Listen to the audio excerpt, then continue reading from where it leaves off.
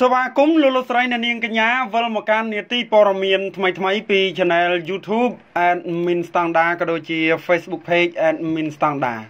ហើយនៅថ្ងៃនេះ Admin Standard សំណុំអារម្មណ៍ប្រិយមិត្តមកតាមដានជ្រាបតាក់ទងទៅនឹងព័ត៌មានវិវត្តថ្មី នៃវីរុសអូមីក្រុង នៅទឹកដី ព្រះរាជាណាចក្រកម្ពុជាថ្ងៃនេះគឺឃើញថារកឃើញច្រើនមែនទែន នៅមុននេះមានការចេញផ្សាយដោយ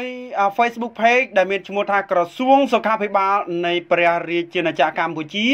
បានសរសេរបង្ហោះនៅព័ត៌មានមួយចំនួនដែលតាក់ទងទៅនឹងវីរុសបំផ្លាញខ្លួនថ្មីអូមីក្រុង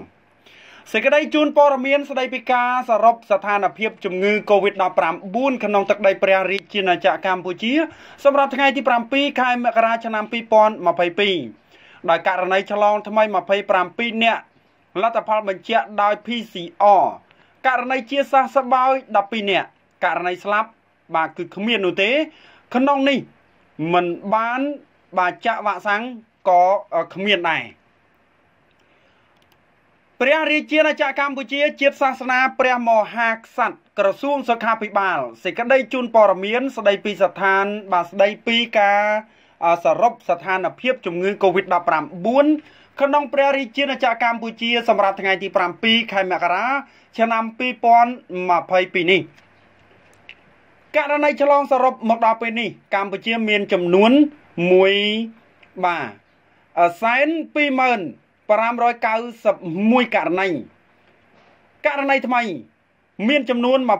27លទ្ធផលបញ្ជាក់ដោយ PCR និងជាប្រភេទអូមីក្រុងទាំងអស់ ករណីជាសះសបើយសរុបមកទល់នឹងពេលនេះមានចំនួន1បាសែន17003បាករណីនិងករណីឆ្លងបាទនឹងករណីជាសះស្បើយថ្មីមានចំនួន12នាក់ករណីស្លាប់សរុបមានចំនួន3015នាក់ថ្មីគ្មាននោះទេសម្រាប់ថ្ងៃនេះករណីនាំចូលពីក្រៅប្រទេសសរុបមានចំនួន 2បាទ27007បាទករណីថ្មីស្មើ27ករណីនាំចូលនិងជាមេរោគបំផ្លែងខ្លួនប្រភេទថ្មីអូមីក្រុងទាំងអស់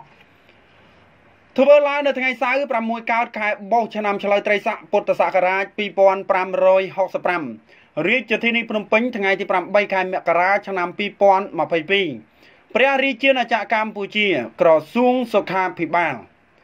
អញ្ចឹងប្រិយមិត្តទាំងអស់គ្នាគ្មានអីក្រៅពីការបាទប្រុងប្រយ័ត្នទេអត់មាននិយាយលេងសើចទេ បាទអូមីក្រុងអត់មានឆ្លងតលតាមមនុស្សនឹងពណ៌នេះ បាទសម្បុរនោះអីគឺអត់ទេ បាទអត់មានថា